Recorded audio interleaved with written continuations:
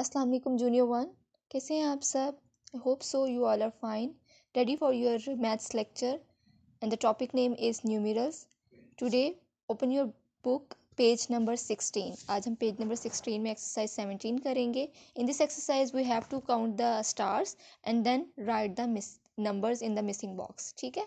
जहाँ पे missing box में जो नंबर लाइक डिजिट्स हैं तो डिजिट्स में लिखेंगे और अगर स्पेलिंग्स में है, यानी नंबर नेम्स में लिखना है तो वहाँ पे नंबर नेम्स में लिखेंगे। But first of all you have to count the stars like first count it one two three four five six seven and eight in the first part here is eight stars. So we have to write eight in empty box यानी खाली box में हमने यहाँ यहाँ eight लिखेंगे किस form में? Digit form में क्योंकि स्पेलिंग में एट ऑलरेडी लिखा हुआ है।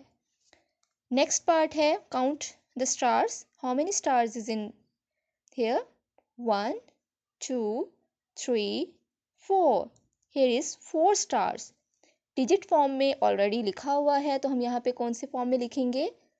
यस yes, स्पेलिंग में लिखेंगे। तो स्पेलिंग क्या है? फोर के F O U R 4. Write here in a neat way.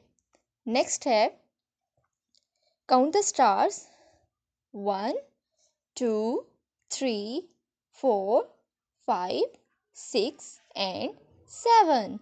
Here is 7 stars. Spelling में लिखा हुआ है तो हम किसमें लिखेंगे डिजिट में यानी काउंटिंग में वन टू वाली काउंटिंग में तो यहाँ पे लिखेंगे हम seven because here is seven stars and in the last count the stars one two three four and five right here in spellings f i v e five clear I hope मुझे उम्मीद है कि आपने spellings में काफ़ी हद तक number names याद कर लिए होंगे। बेटा साथ साथ ही याद रखो, इसके स्पेलिंग्स को आगे काम आएँगे। इसके अलावा आपने ये एक्सरसाइज कंप्लीट करनी है।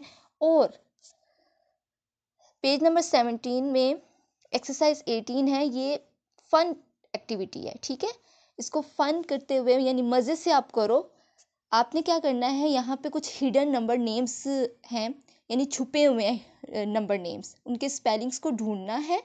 उनको बॉक्स में कवर करना है और उन पर कलर करना है। जैसे आप सामने देख रहे हो O N E one one को कलर हुआ हुआ है ना, इसी तरीके से आप बाकी के स्पेलिंग्स भी ढूंढो और कलर करो, ठीक है? डिफरेंट कलर्स करो प्यारे प्यारे थैंक यू टेक केयर अल्लाह हाफिज़